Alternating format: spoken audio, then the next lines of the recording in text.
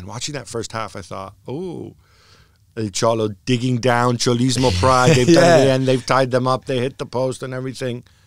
And then Zidane makes his changes at halftime and boom. And you did wonder at halftime who's going to move first between the two because, like you said, Cholo had no reason to change anything really because that first half was, for what he wanted from his team, quite convincing.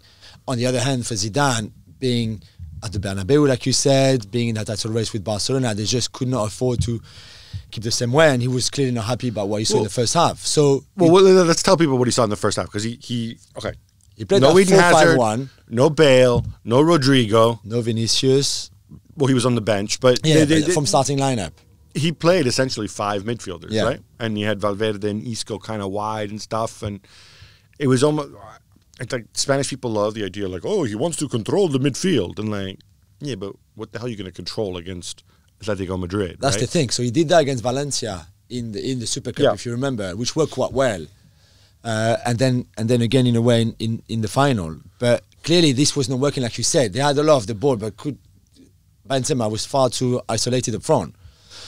And so you expected him to make a change at halftime. Maybe not to change well, Isco you could see the change coming, but for Kroos, maybe you didn't think he would take Kroos off after just 45 minutes, right? He's got some stones there taking out Toni he's got Kroos, some yeah. cojones, yeah. And to be fair, he worked really well. Even Lucas Vázquez, who came on with Vinicius to mo- to move back to that four three three that that team is more suited for, especially. Well, on, But this is the thing. He's bringing on. I mean, I know I've made this point before, but I'm gonna make it again.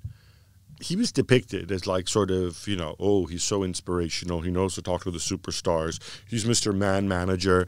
You know, he doesn't complicate but which things. is true. Which is true. That's one But of his. he's showing skills. that he can actually go and read a game Yeah, tactically, definitely. change the formation, and look. It's not like it's, it's, it's not like he sent on like you know Garrincha and and, and, and Ronaldo. Uh, he sent on freaking Lucas Vázquez and Vinicius, which basically probably at this ch- uh, this stage maybe like what fifth and sixth choice. Yeah, up yeah. front. And yeah, by having those wide players moving Valverde back inside, Exactly. and he gets it done. Yeah, and the change of structure made a difference.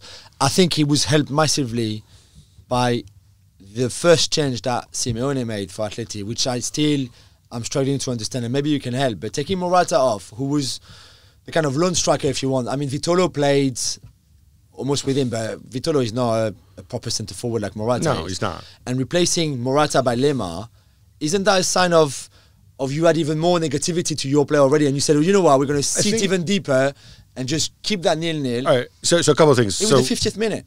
he was without he was without obviously João Felix and, and Koke. So his options were going to be more limited anyway, right? So I think that was a moment where he's like, okay, now we pack it in. We add Lemar. Maybe he can hold the ball. Maybe he can he can find something for for Correa or, or, or Vitolo on the break.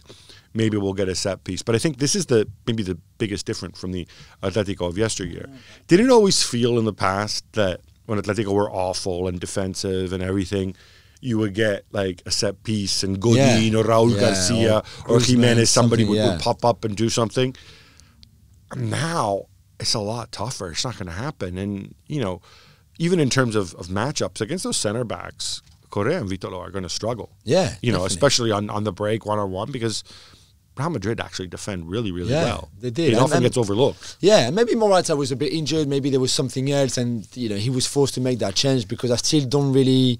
He's not one for making early changes like that, especially in a game where he it controlled quite well in the first half.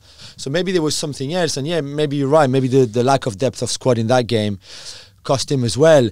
But you still have a feeling watching that second half that it's really the end of an era for him there. I mean, I don't know. I know they spend a lot of money on players. They've got young players still, but I don't know. And on the other hand, you could see Zidane, who's clearly improved massively as a manager compared to even his first, well, his first spell only, but the first season of that first spell, where he was making some mistakes tactically in games. I remember one at Betis, for example, where he got it completely wrong at the start and also during the game. And now he has this ability to change games halfway through, which I think That- is an incredible asset. That's what I love because when I'm Real Madrid's still packed with superstars, of course, but not to the level they were at before. And there is an argument to be made. It's the old Ancelotti argument that when you have much better players than your opponents, don't screw things up. Just you know, Yeah. make sure they're happy when they go on the pitch and let them do their Yeah, thing. yeah.